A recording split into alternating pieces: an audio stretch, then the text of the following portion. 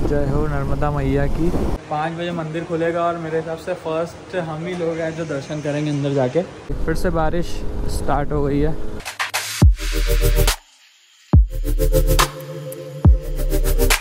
What's up everyone welcome back to my channel सबसे पहले तो गाड़ी को करते हैं कोल्ड स्टार्ट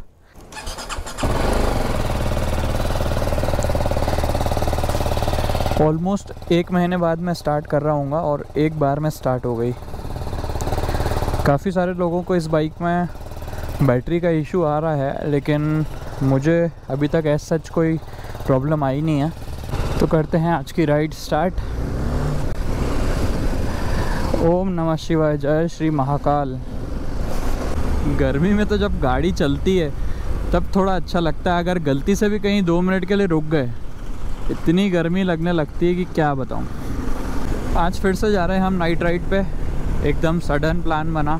अभी टाइम हो गया है रात के साढ़े ग्यारह और मैं निकल गया हूँ अपने घर से। आज सब लोग आ गए हैं और मैं लेट हो गया हूँ। पिछली बार सबसे पहले मैं पहुँच गया था तो आज मैंने सोचा कि थोड़ा लेट ही निकलता हूँ घर से। हालाँकि मैंने जानबूझ करके लेट नहीं किया। कुछ काम था मुझे तो इस कारण मैं लेट हो गया। तो चलते हैं, जहाँ सब लोग खड़े हैं और वहाँ से ब्लॉग कंटिन्यू करते हैं। मैं पहुँच गया तेजाजी नगर और यहीं कहीं खड़े हैं सब लोग। शायद तक आगे। हम्म, ये है क्या? आ, हाँ यही है। हेलो भाई कैसे हो? बढ़िया। हेलो। और हाँ क्या बोल रहे थे? ऑटो मैं मेरे को तो अभी से नींद आ रही है यार। अरे चलो गाइज़ अभी हम पहुँच गए तेजाजी नगर स्क्वायर पे। और एज़ यूजुअल सभी लोग लेट हैं। हम ही जल्दी आए बस। तो वेट करते हैं सब लोगों का। और फिर करते राइट स्टार्ट वैसे जाने का वाले आज हम? ओमकारेश्वर।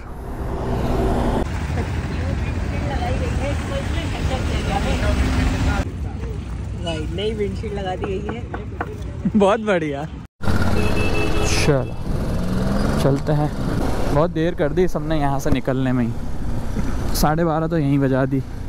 सबसे पहले लेंगे एक चाय ब्रेक, उसके बाद आगे जाएँगे क्योंकि रात का टाइम है तो थोड़ी नींद ना आए, इस वजह से एक चाय पी लेते हैं पहले ही। तो आज हम जा रहे हैं ओमकारेश्वर, जिसका डिस्टेंस है इंदौर से 80 किलोमीटर्स हम लोग टोटल आठ राइडर्स हैं। सबसे पहले चाय पीने के लिए रुकेंगे घाट के स्टार्टिंग में ही। यहीं पे आगे जो ढाबे वगैरह आते हैं, यहीं पे देखते हैं, कहीं रुकते हैं। पहुँच गए ढाबे पे चाय पीने के लिए। और यहाँ पे अब रिएक्शंस देखने को मिलेंगे लोगों के काफ़ी सारे। चाय पी ली है इस ढाबे पे और अब निकल रहे हैं आगे के लिए।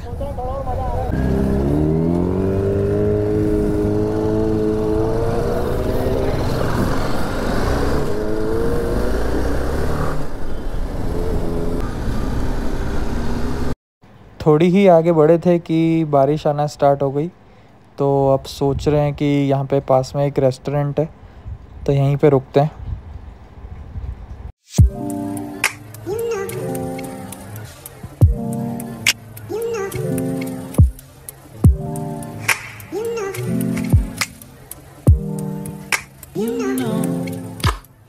तीन बार हम लोग अंदर आ गए, फिर बाहर चले गए। पानी है कि कम होने का नाम नहीं ले रहा देखो।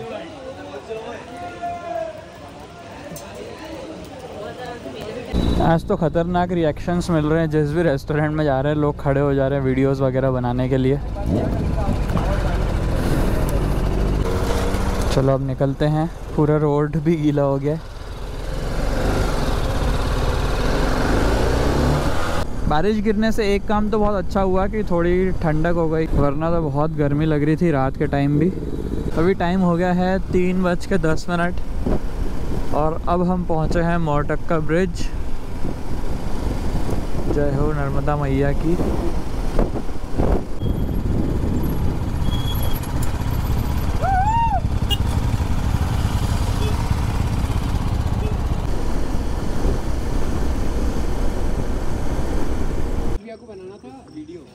रेस्टोरेंट पे रुके हैं।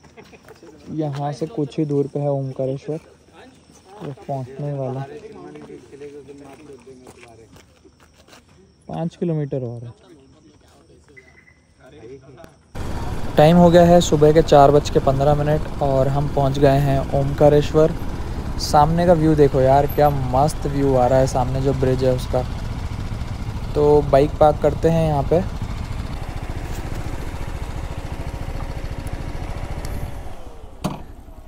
हम आ चुके हैं ओमकारेश्वर जो कि बारह ज्योतिर्लिंग में से एक है और मंदिर वहाँ पे सामने की तरफ़ है।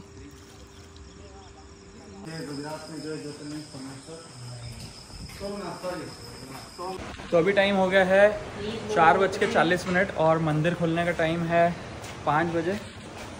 तो अभी पंडित जी से पूछा है तो पंडित जी ने बोला है कि बीस मिनट वेट करो आप। और पाँच बजे मंदिर खुलेगा और मेरे हिसाब से फ़र्स्ट हम ही लोग हैं जो दर्शन करेंगे अंदर जाके। चलो वेट करते हैं, थोड़ी देर बीस मिनट यहाँ पे और फिर चलते हैं अंदर। तो अभी टाइम हो गया है चार बज के चालीस मिनट और मंदिर खुलने का टाइम है पाँच बजे। तो अभी पंडित जी से पूछा है तो पंडित जी ने बोला है कि बीस मिनट वेट करो आप। और पाँच बजे मंदिर खुलेगा और मेरे हिसाब से फ़र्स्ट हम ही लोग हैं जो दर्शन करेंगे अंदर जाके। चलो वेट करते हैं, थोड़ी देर बीस मिनट यहाँ पे और फिर चलते हैं अंदर। तो बहुत बढ़िया दर्शन हो गए और शुरुआत में सुबह सुबह पाँच बजे हम लोग दर्शन करके आ गए और अब जा रहे हैं अपनी बाइक की तरफ़। कहाँ पे रुका यार बाइक यहाँ से तो समझ नहीं आएगा। वहाँ ब्रिज के पीछे कहीं हमने पार्क करी है बाइक तो अभी चलते हैं नीचे। आ गए ऊपर से नीचे। और यहीं पे बाइक पार्क करिए पीछे की साइड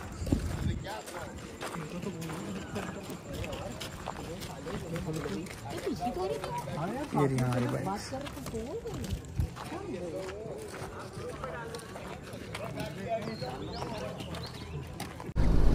टाइम हो गया है सुबह के साढ़े छः और हम निकल रहे हैं घर के लिए। बहुत बढ़िया तरीके से दर्शन हो गए। हर हर महादेव ओम नमः शिवाय। हल्की हल्की नींद आ रही है तो दो घंटे कुछ लगेंगे। आठ साढ़े आठ बजे तक हम घर पहुँचेंगे। और घर जाके तो मैं जो सोने वाला हूँ। मौसम इतना ज़बरदस्त हो गया है सुबह सुबह इतनी ठंडी हवा चल रही है, रात में इतनी गर्मी थी और बारिश होने के बाद बहुत ज़्यादा ठंडी हो गई है। फिर से बारिश स्टार्ट हो गई है। अब मुझे जो है गोप्रो निकाल के बैग में रखना पड़ेगा क्योंकि माइक वगैरह लगा है, वो वाटरप्रूफ नहीं है। गोप्रो तो वाटरप्रूफ है, लेकिन माइक वगैरह नहीं है तो उसमें पानी जा सकता है। दो मिनट रुक के निकाल ही लेता हूँ। तो यार, इस वीडियो को यहीं एंड करते हैं। आई होप आपको वीडियो अच्छा लगा हो। अगर चैनल पर नए हो तो चैनल को सब्सक्राइब ज़रूर करके जाना। तो मिलते हैं आपसे नेक्स्ट वीडियो में। तब तक के लिए बाय बाय टेक केयर